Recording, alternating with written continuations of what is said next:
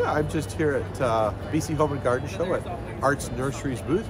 Just want to introduce this is one of our vendors. This is who we buy almost all of our plants from.